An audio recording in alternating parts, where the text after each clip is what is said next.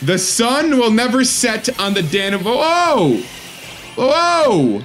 That's not a one-hit KO. Hello? Welcome back to another Dan Squared video, you Danimals. Seven Star Pikachu is here again, and that's all I have to say about that. I've been enjoying shiny hunting the legendary Pokemon in uh, Dynamax Adventures and Sword and Shield. Join me on my shiny hunts on my TikTok streams every Sunday, Monday, and Wednesday, 7 p.m. Eastern Time.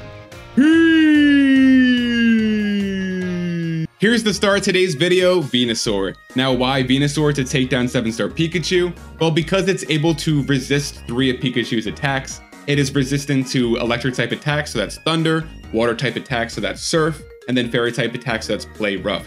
The only one of Pikachu's attacks that we're not going to resist is going to be Iron Tail. I'm going with Tera Grass for some big super effective damage, and the leftovers held item for additional consistency for the early game for this build. The full build and strategy is in the description. You can see it has max special attack EVs, max defense EVs, final 4 in HP, and a modest nature. To get this EV spread, use 26 calcium, 26 iron, 1 HP up, and to get that modest nature, use a modest mint. The ability Overgrow powers up our grass type moves when we're at a third HP or less. Giga Drain is our main attacking move. I wanted to go with Petal Dance to assure a big one-hit knockout, but Giga Drain gives us just too much recovery. Sunny Day weakens Pikachu's Surf and allows growth to raise our attack and special attack by two stages every time. Acid Spray softens up Pikachu for Giga Drain. Once again, the full build and strategy is in the description of this video. Make sure to leave a comment with what Pokemon you're using to take down 7-star Pikachu. And if you're enjoying my content, please consider dropping a like or subscribing to join the Danimal Kingdom. And let's see Venusaur in action. Time for this Kanto starter on Kanto starter crime.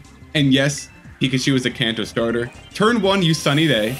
Again, the turn-by-turn -turn guide will be in the description of this video. We're going to use Sunny Day to change the boost to Surf from plus 50%, from Rain Dance to minus 50% from the Sunny Day. That means that Surf is going to be doing half the damage that it would normally do to us. So now at this point, if you have an Intimidator, then Pikachu will likely switch over to Thunder, which will be a pain in the neck because it could paralyze you. If it paralyzes you, just use a health cheer. But for me, it's going to use Iron Tail because I don't have an Intimidator. So I'm going to start using three growth. That'll put me into plus six special attack and attack. Yeah, the defense drop, really not great, but I do have the ideal partner of Gardevoir right now. Gardevoir, one of the best for that Life Dew to supplement our leftovers healing. I do like the Intimidators, and I, if you want to go with a more consistent build for this, if you find that you're getting knocked out, you can replace uh, Sunny Day with Amnesia. Sunny Day with Amnesia. That way you will uh, booster special defense, so you'll take less damage from Thunder and Surf. Okay, I've been bodied a little bit. I'm at minus two defense, so I'm actually going to go Giga Drain now before the next growth because I'm not going to survive an Iron Tail. So I know the description says, okay, use one Sunny Day and three growth, you should. But in this case, I got too low, so I'm switching it up.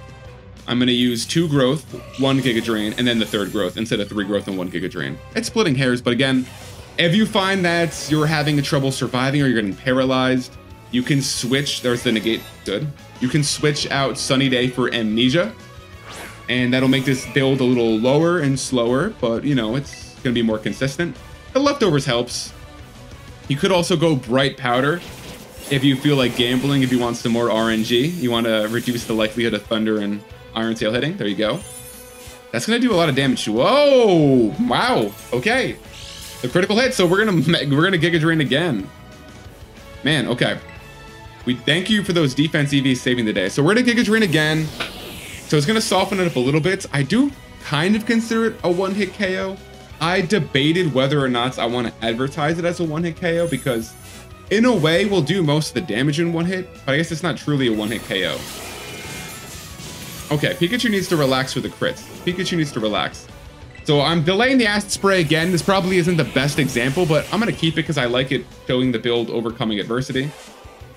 There's a critical hit back. All right, so heal me up all the way because Giga Drain, big time healing. Surf, no problem. Oh, I wonder if it's going to switch to Surf instead of Iron Tail.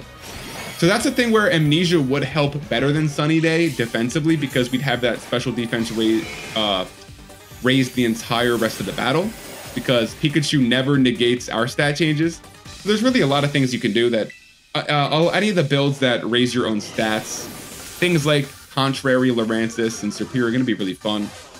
But you can't pass up an opportunity to put two of the OGs against each other. It's really a pain. Those defense drops really a pain in our side right now because we want to just be acid spraying to bring this special defense down. But those because of those defense drops, we're gonna have to deviate a little bit. So I'll put the caveat: if you get into yellow, you're gonna have to Giga Drain. It just is what it is. Because ideally, we run the ball, everything goes well, right? Sunny day, three growth, one Giga Drain, three Acid Spray, one Giga Drain, a million damage. Looks great for the video. But you know what? That's not what always happens. So we don't want to always show you the best, best case scenario.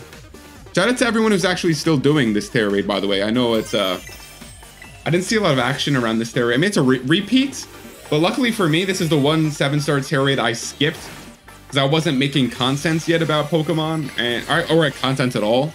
And I said, you know what? I'm good. I don't really need a surfing Pikachu. But luckily I can get it now. But I mean, if you're watching this, you either really like the yapping or you're still playing Pokemon. So that's a, let's see, that's a, that's a lot of damage. We like that. That's a lot of damage. Easily solo, easily solo. If we got the acid sprays off first, then we would have really knocked it down. I mean, at this point, it's really splitting hairs. You can... All right, I'm just going to keep Giga Draining then. That's crazy. Because of the defense drops. Because of the defense drops, I can barely survive one Iron Tail. Because I'd prefer right now to alternate Acid Sprays and Giga Drain. That's what's... I mean, that's what's nice when you have the intimidating allies, though. Because then Iron Tail isn't that much of a threat. So you have your allies with Intimidate. That's going to prevent this kind of shenanigans. Oh my god. I might not be able to survive one. That would be a real shame. Maybe I do want the metronome then. Holy cow. It's just about to... I guess, I mean, if you're watching it, then I did survive it. Otherwise, it's going into the vault and you're never going to see it again. We're so close. Hello? Okay, we survived. We survived. Thank you for not using Iron Tail. Uh, much appreciated. it's, it's, it's, I don't know. It's weird. Yeah, Pikachu's fine. It's uh, it's never gonna negate your stats. You could probably have a safer run with using Amnesia on this, or you want uh, Intimidate allies. Gardevoir helps with Life Dew, but the sun will never set on the Danimal Kingdom. Venusaur is maybe my favorite Kanto starter. I can't decide. Well, that's a topic for another day. And now the ever important question. What Pokeball are you using to catch 7-star Pikachu in Pokemon Scarlet and Violet? I'm going with the Level Ball. The yellow with a little stripe. It looks nice. It looks like Pikachu. So let me know in the comments what you're using to catch 7-star Pikachu. And if you enjoyed this video, please consider dropping a like, leaving a comment, or using Giga Drain on that subscribe button for more Dan Squared. Thanks for watching and happy Pikachu season.